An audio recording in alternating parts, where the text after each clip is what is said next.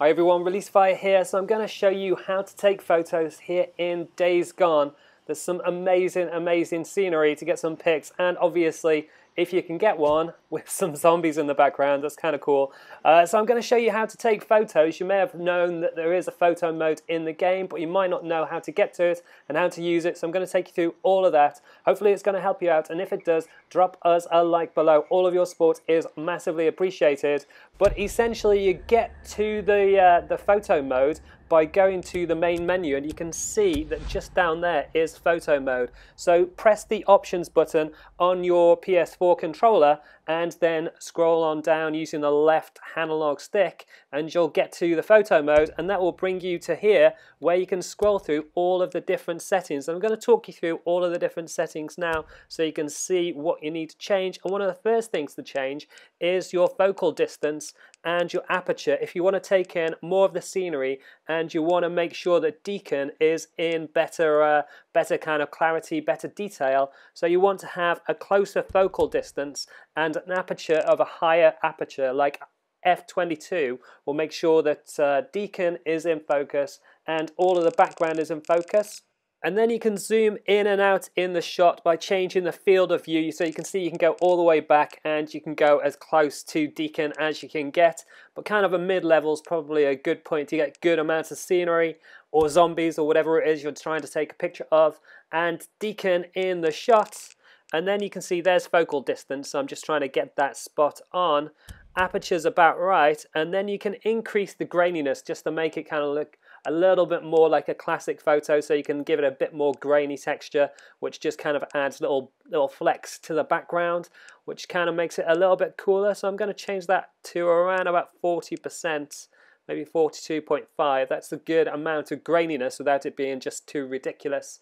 And you can also go into like there's a basic and there's an advanced mode. Now I'm not going to go through the advanced mode and I don't really think you need it, not unless you kind of like majorly into all this kind of stuff, in which case you can play around with it as much as you want, but I'm going to stick with the basic view, uh, which is here, and then you can move over to, uh, to this area here, which is characters, by using R1 and L1, and you can change whether or not you can see Deacon. You can do the same for the bike. So if you just want the scenery, you can just see the scenery.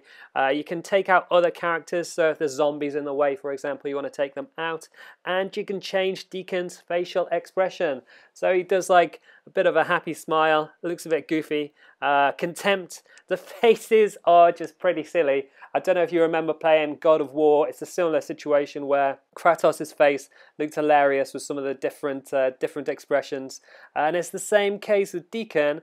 I'm going to go with fear because hey, this is Days Gone. There's freakers all over the place. Winky face would not be good. So I'm going to backpedal on over to uh, to fear and stick with that.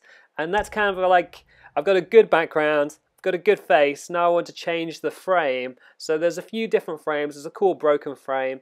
Uh, there's like lots of different things for you to choose from. The burnt edges is quite sweet.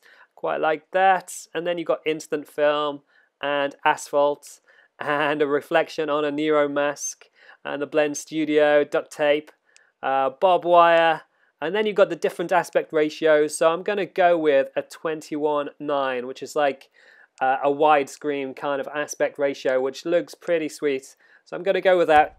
It's quite cool with the graininess. Now you can change things like you can put the logo on if you wanted to. If you're going to put this on social media, or on like Instagram or whatever, and you can change the position of the logo and you can also change the color. So if you wanted it to be black or white, you can change that.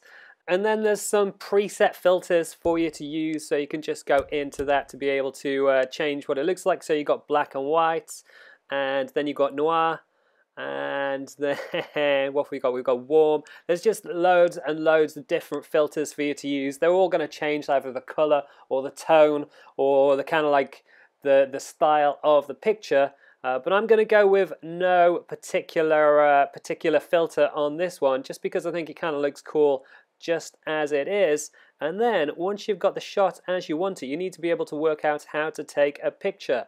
And to be able to do that, what you actually need to do is use the share button on your PS4 controller and uh, and go through the kind of like the standard screenshot capture for that. And then obviously if you want to see your picture, you just head on into screen capture from your main menu on your PS4 and there you go, you can see the shot that you've taken or all of the shots that you've taken and that's it guys, that is how to take photos here in Days Gone. Like I said earlier, hopefully it helps you out and if it does, drop us a like below. All of your support is hugely appreciated. You can also subscribe to the channel if you haven't already with the links on the left hand side and you can check out our t-shirts and hoodies with the shop just below that. You can see more of our videos on Days Gone with the links on the right hand side.